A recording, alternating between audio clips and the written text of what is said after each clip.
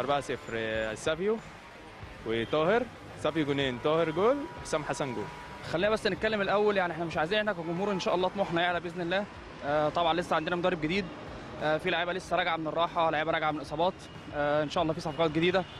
فأتمنى إن شاء الله يعني نطلع بس بنتيجة إيجابية إن شاء الله. 2-0 1-0 إن شاء الله الاهلي هيكسب 3-0 إن شاء الله. يعني هو إن شاء الله إحنا بنتفائل خير بس المقدمة كده وإن شاء الله هتبقى النتيجة يعني إن شاء الله من 2 ل 3 الأهلي هيعمل ان شاء الله مجهود يعني حلو كده وهيأدي أداء جيد. إن شاء الله هيكون مباراة جميلة للنادي الأهلي وهيتوفقوا إن شاء الله وربنا معاهم وأنا شايف إن الأهلي هيكسب طبعا. لا أكيد بإذن الله. يعني هيلعبوا ماتش حلو ده أول ماتش في دوري أبطال أفريقيا. يعني أقل حاجة يطلعوا من الماتش ده يعني 2-0 كتير قوي أكيد مش هيخذلنا يعني. الأهلي. الماتش طبعا هيكون صعب. أنت عارفة يعني شمال أفريقيا صعبين إزاي؟ ف... وفرقة زي دي بقى لها كتير ما بتشاركش في أفريقيا متعطشه إنها تشارك.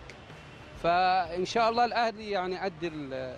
قد المشوار ده إن شاء الله ويخلصوا بالسلام إن شاء الله. بص إحنا يفرق معانا أول حاجة مثلا أرضية الملعب ماتش الساعة 3 ونص أو على حسب ما هم قالوا توقيت بدري قوي على الأهلي.